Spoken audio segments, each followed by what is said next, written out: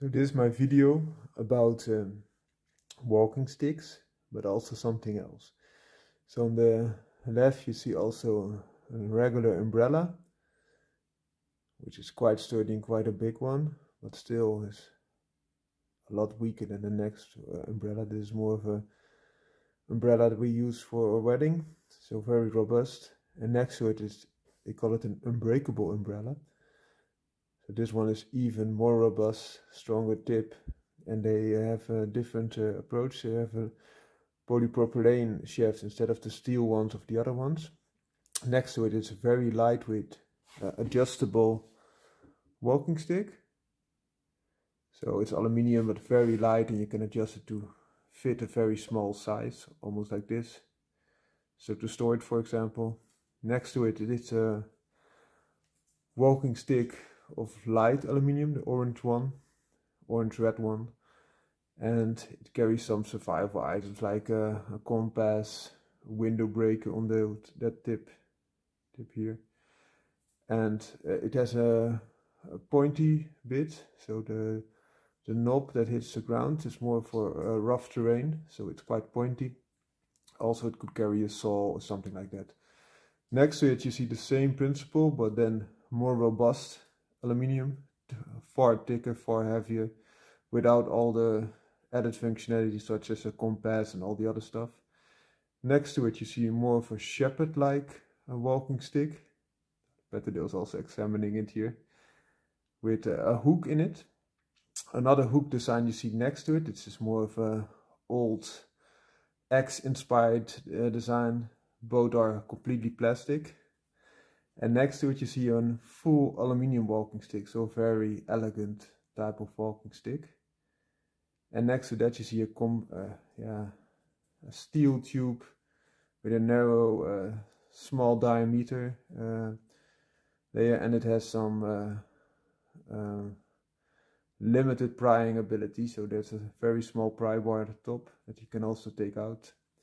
Next to it you see an, some cold steel so these two are also uh, CS. So you see here um, the walkabout, so simple walking stick, and next to it is African walking stick. And on the end, you see something completely different than a walking stick. This is a, they call this a fitness mace bell thing, so it's far too heavy, 4 kilograms. But it could be used for training, for example. You see it here. And also the other walking sticks could also double up as training tools, of course. So just get some uh, cardiovascular exercise, but also some strength and fitness and flexibility. Of course, the main theme is except the mace bell here, which is a fitness tool. All these other uh, tools could be used as a walking stick to a degree. Of course, if you use the umbrella, you have uh, the drawback that you it will bend over all the force that you could exert on it, but light work could help still hold up. The same will be with this uh, collapsible walking stick. If you are too heavy, you will have troubles with it. This uh, umbrella here could be the best of both worlds. So it could give you some cover against rain, but could also double up as a walking stick. The benefit of the straighter edges that you can see here is that you can also uh, use it a little bit to lean on. For example, if you want to sit, but there's nowhere to sit on those could help of course as well. Now I will show you some of the features of the, each individual stick or the likes. Let's start with the mace bell. In particular this African walking stick, as you can see here.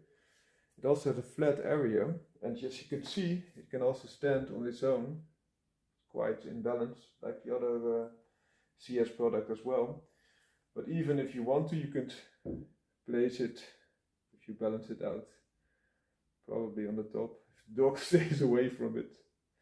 But either way, um, so you have a walking stick, quite sturdy. Also, you have good room to hold it. Uh, if you want to um, use it in a different way, for example, to push something away, it won't slip uh, that easily. Also, it has uh, here it says African walking stick and also has a nice uh, non-slip uh, foot on it. Of course, you can always saw this. This is just polypropylene plastic. So if you're a little bit uh, shorter, you can saw it off. It has a similar design as the walkabout. This is the walkabout as you can see here depicted. Walking stick, but this is um, also polypropylene. So the benefit of polypropylene is that it doesn't it doesn't bend, it is quite sturdy. But this is a more simple design. For a pure walking stick, I think this is a better one for most people. Why? Because uh, the knob on top is not as extremely big as the other knob is. The African walking stick is a little bit shorter, but also the knob is a lot uh, bigger. So it uh, takes a little bit more toll of your hand. But I must say that even this with all those uh, little points is still quite comfortable to the hand, but this one is, is better.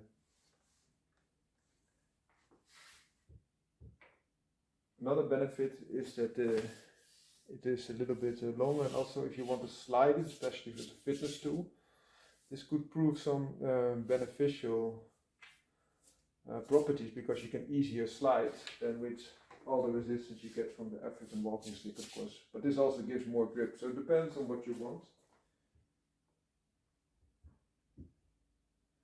Then to the small uh, steel tube walking stick, there's a little bit of um, pry bar head as you can see here. And the benefit is that even though, it's a very small pry bar, because of the leverage you can gener generate with this uh, steel tube, you will of course ruin the steel tube, but if needed you can pry a little bit better than with yeah just a small amount of pry bar that's in there. It also has a PVC pipe in it so that it doesn't shake as you can hear. So it's very nice uh, detailed and this is just a little bit of bend because of course it's not nice and it's cool that you have direct contact with steel. This is also very heavy. Uh, this is the heaviest walking stick as compared to all the others, except this one, but it's not a walking stick. This uh, might be the second heaviest. This is uh, yeah, just a more of a show-off gentleman type of uh, walking stick. Very elegant uh, tip, as you can see, and then it tapers up a little bit. Also very nice uh, work on the handle. The benefit for such a design is that you can, um, the other one you had to hold as a knob, huh? but this you can like more of a pistol grip. So it's easier for the hand, you have some more positions you can position it in. And also the benefit is you can lean on top of it if needed. So that's a benefit that you will also see with some of the other uh, walking sticks of similar design. For example, this one, also CS series uh, walking sticks. As you can see, they try to resemble a little bit of the axe head. In the past also, they had walking sticks with, a with real axes on top of them, so if needed they could chop a little bit. But this of course completely blunt, but it still has some of the benefits. Also this is not a sharp acute tip. Very nice design. It also resembles it a little bit more of an axe handle, so it's more of an elliptical uh, shape, so to say. It is even better to lean upon because you have more surface and more flatter area, especially because this side is also elongated a little bit. I really like uh, how this feels in the hand. It's like a little bit of a hammer or an axe handle. This is more of a traditional um, traditional shepherd like like stick, so it has more of a curl instead of a flattened area. The flattened area I like a little bit more because this uh, has some drawbacks in how it feels. You will slip a little bit to these sides, whereas this is more flattened out, this will help a lot. The benefit, however, of this one is it's very elegant, as you can see. It's everywhere as, as the same width.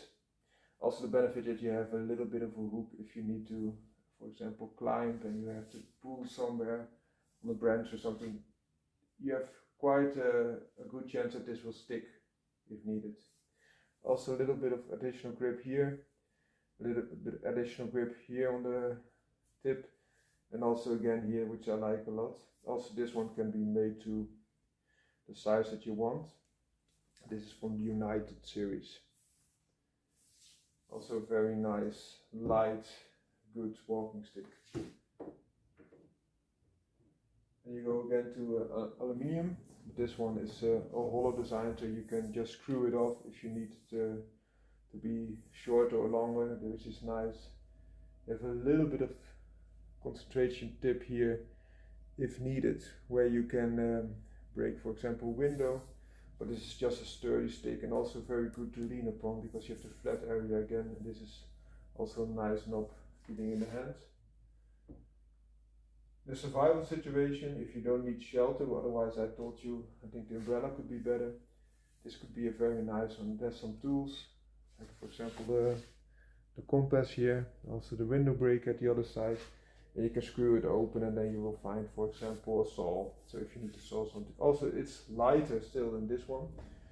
But the tip is not good for urban environment because it's far too pointy. It's more of an off-road type of walking stick.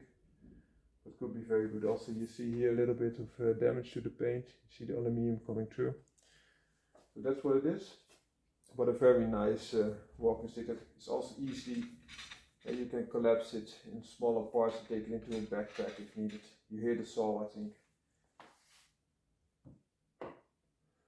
And this walking stick, this is perfect if you need a, a walking stick for a situation that you uh, you don't know if you need it, just for light work. Also very easy to collapse. This is weighing uh, almost nothing. This is by far the lightest walking stick, and as I told you, it's very easy to put to a different size. As you can see here, for example, just with this knob, but you can also collapse it to an extremely small size. So, so I will show you here. So it can be collapsed to about half the size that it originally had. And then you can just get it back to the size that you need. Also, for example, if you take this with you, if you have an injury, you can still lean upon it, but also use it for your children because you can easily make it to any um, size that you need. So this is just your